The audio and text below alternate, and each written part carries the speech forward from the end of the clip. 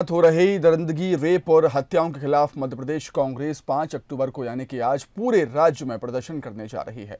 कांग्रेस सभी जिला मुख्यालयों पर धरना प्रदर्शन कर भाजपा सरकार के प्रति विरोध ज़ाहिर करेगी और गाडावारा में दलित महिला से हुई रेप की घटना का विरोध भी करेगी।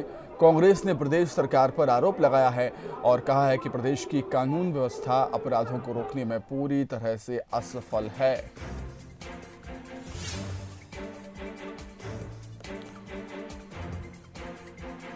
पूरे प्रदेश में कांग्रेस का आज मौन प्रदर्शन है। महिलाओं पर हो रहे अत्याचार के खिलाफ कांग्रेस पूरे प्रदेश में आज प्रदर्शन करेगी। सभी जिला मुख्यालय पर पार्टी कार्यकर्ता मौन प्रदर्शन करेंगे।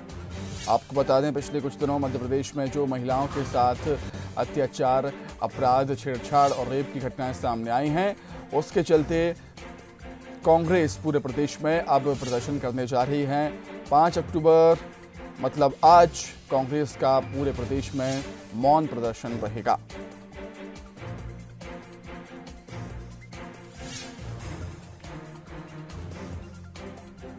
सभी जिला मुख्यालय पर पार्टी कार्यकर्ता मौन प्रदर्शन करेंगे।